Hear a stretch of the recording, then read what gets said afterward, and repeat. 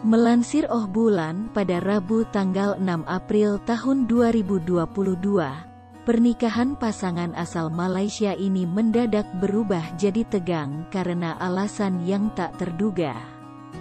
Pengantin wanita yang bernama Nurul berbagi cerita melalui halaman TikTok miliknya.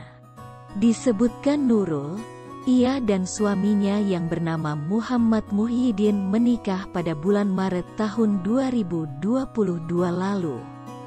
Suami Nurul bekerja sebagai seorang chef.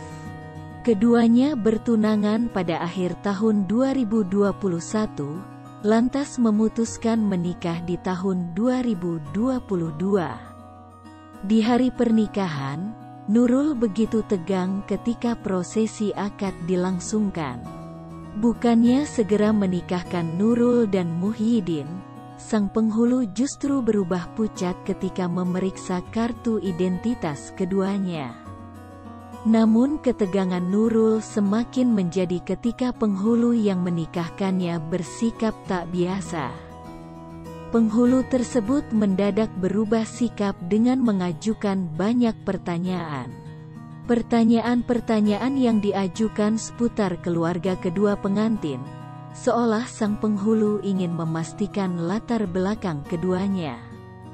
Tindakan penghulu bukan tanpa sebab. Ternyata, nama ayah kedua pengantin sama persis. Baik ayah Nurul maupun ayah Muhyiddin sama-sama bernama C. Ahmad. Hal inilah yang membuat penghulu ragu dan takut langsung menikahkan sebab mengira pasangan pengantin adalah saudara kandung.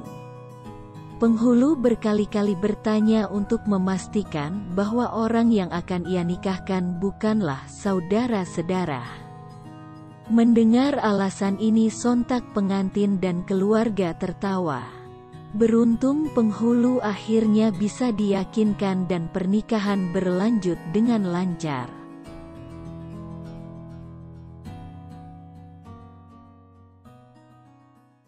Terima kasih sudah nonton. Jangan lupa like, subscribe, dan share ya.